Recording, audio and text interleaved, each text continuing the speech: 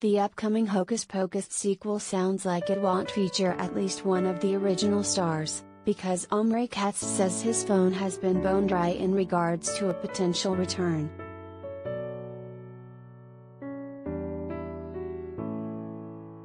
Omri, who played Max Dennison in the Disney cult classic, tells TMZ, he hasn't been approached about being involved in Hocus Pocus 2, even though he would be open to bringing back his character in some fashion.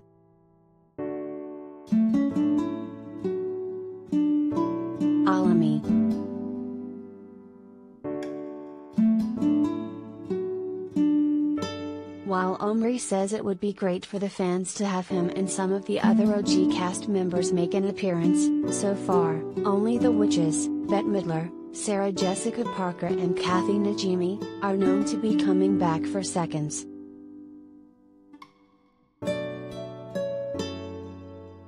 Omri also tells us he remains close with his Hocus Pocus family, hanging out with Thora Birch, Dani Dennison, and Vanessa Shaw, Allison, usually during spooky season when the film is most popular.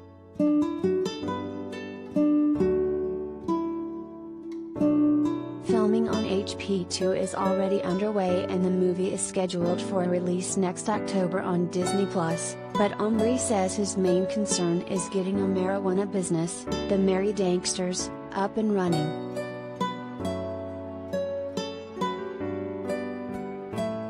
Green Magic, anyone?